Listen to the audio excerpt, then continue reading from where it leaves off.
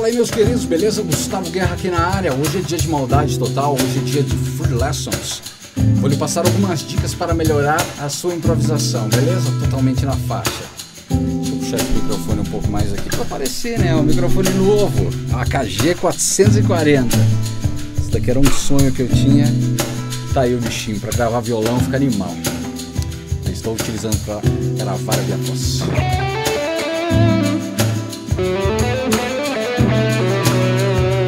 Então, beleza, quando você está em Mi menor, nós vamos pensar na escala menor natural, certo? Conhecida também como modo eólio.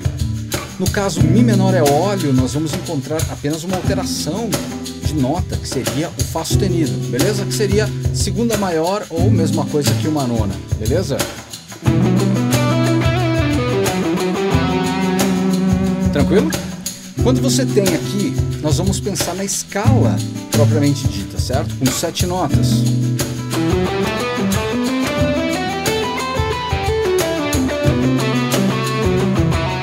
Quando você tem a escala na mão, é importante que você tenha essas ferramentas, como o arpejo tétrade, tônica, terça menor, quinta justa, sétima menor. Quando nós pensamos em arpejo, uma das coisas que vem na nossa mente é tocar rápido, né?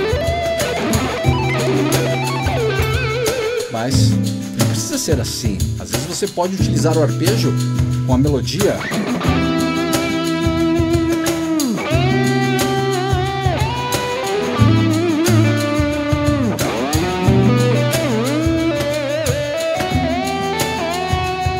certo? Fazendo a conexão com a escala. Então aqui nós temos o arpejo.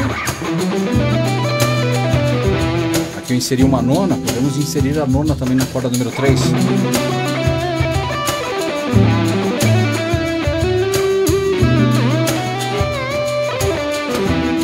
Beleza? A escala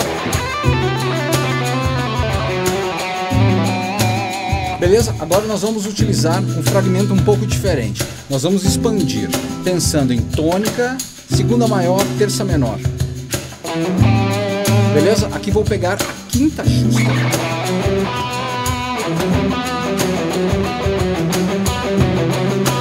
E agora, oitava.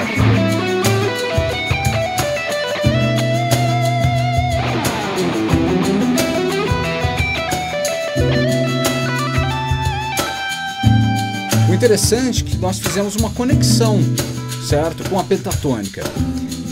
Muitos guitarristas, quando chegam assim, é Mi menor, a primeira coisa que o cara faz é a pentatônica de Mi menor no modelo de Mi, a mais tradicional.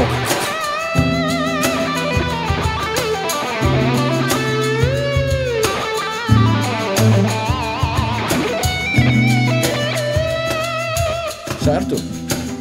É muito legal. Vamos, vamos tentar fugir disso. Agora, quando você começar um improviso de Mi menor, você logo vai pensar na escala e na sua tétrade.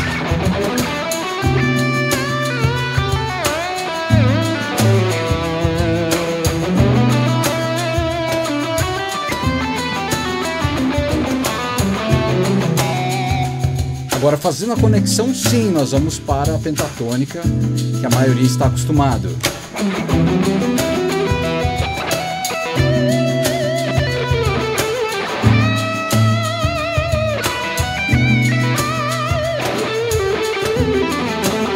A escala. Arpejo. Conexão. Pentatônica. Beleza? Já ficou bem interessante esta ideia. O que você pode pensar? Quando você tem aqui os intervalos do modo eólio, certo? Tônica, segunda maior, terça menor, quarta justa, quinta justa, sexta menor e sétima menor, é interessante você visualizar esses intervalos para que você consiga criar situações. Aqui eu tenho tanto a tríade de Mi menor, também eu tenho a tétrade de Dó sétima maior certo? Partindo aqui da sexta.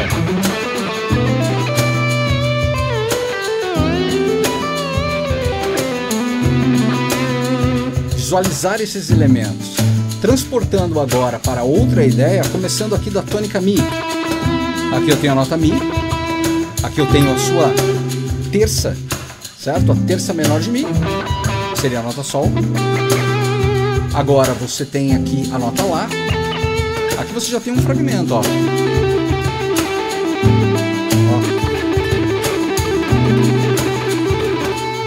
Pensando aqui, você tem o Si e você tem o Ré. Então você tem uma sonoridade arpejada.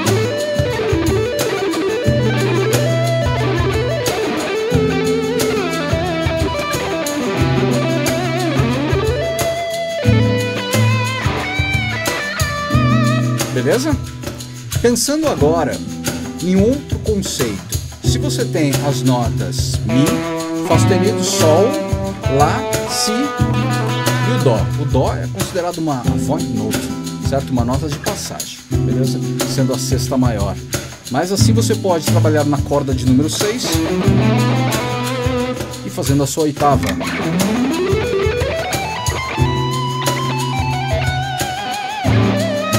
Pentatônica. A escala. Olha, olha. O arpejo. Conexão.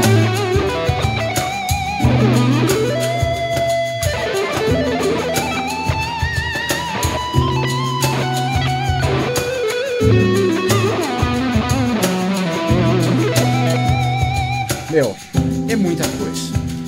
A parte de improvisação é infinita. Isso aqui foi apenas uma dica para que você consiga construir elementos para facilitar o seu improviso. Então pense aqui: escala, sete notas, arpejo, tríade, tétrade. Todas essas notas você deve distribuir no braço. Então aqui nós distribuímos algumas com uma sonoridade legal. Olha que interessante, se eu tenho aqui, ó.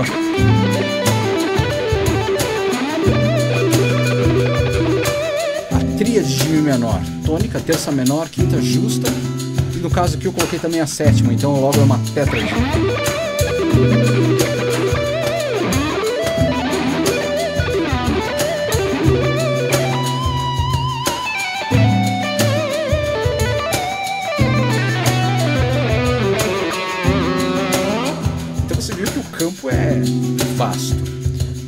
Uma dica é você conhecer bem as intenções modais. Intenções modais é tudo.